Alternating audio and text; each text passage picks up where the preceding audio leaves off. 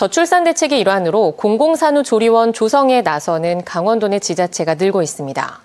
원정 산후조리 등의 문제와 민간조리원의 높은 비용 부담을 줄여주기 위해서인데 실제 감면 혜택은 지자체마다 천차만별인 것으로 나타났습니다. 박은지 기자가 이유를 취재했습니다.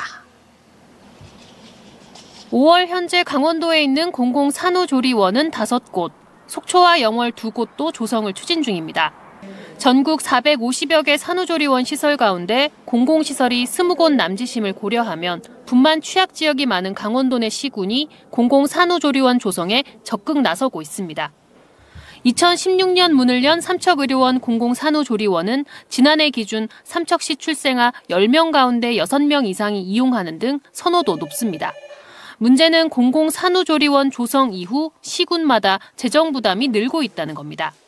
공공산후조리원 요금은 2주 180만 원으로 300만 원을 웃도는 민간시설보다 적은 데다 출생이 줄면서 수익은 감소하는 반면 운영비와 인건비는 계속 늘어나고 있습니다.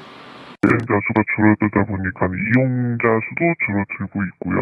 음. 그러면서 이제 적자가 점점 늘어나는 것은 맞습니다. 처음에 비하면은 많이 거의 두 배 정도 가까이는 예산을 많이 늘려서 계획을 하고 있고요.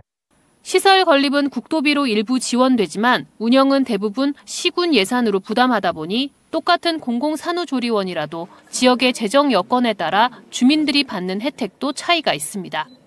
삼척 시민은 삼척의료원 공공산후조리원을 전액 무료로 이용할 수 있지만 양양구는 다자녀 90%, 일반 주민은 80% 감면 혜택이 주어집니다.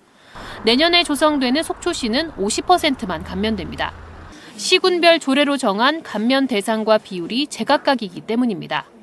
저출생과 지방소멸 문제 해결의 일환으로 공공산후조리원에 대한 국가 지원 확대가 필요하다는 지적입니다. 이거는 저출생의 증가 차원이라 하면 국가에서 전부 다 지원해 주는 게 답이 많죠.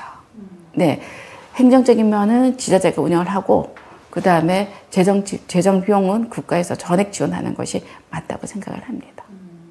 지난해 국회에서는 전국 기초지자체에 공공산후조리원 설치를 의무화하고 국가가 시설 조성과 운영비 등을 지원하는 모자보건법 일부 개정안이 여러 차례 발의됐지만 전부 상임위에서 계류돼 있습니다. MBC 뉴스 박은지입니다.